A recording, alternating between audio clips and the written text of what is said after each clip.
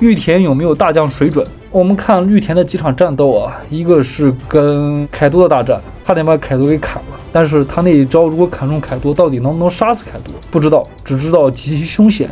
那玉田跟白胡子，白胡子一边说着这家伙有点棘手，一边挡住玉田。但是玉田在后续对于白胡子的描绘是说，他没有见过这么强的男人。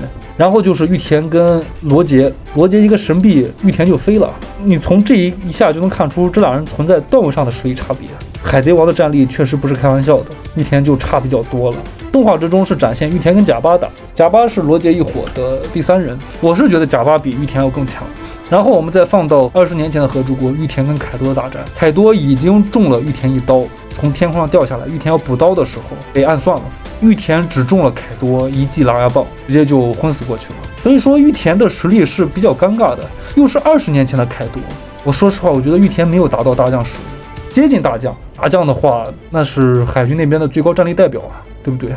你说雷利能到大将水准的话，那我觉得没问题。玉田的话，我觉得还差一点。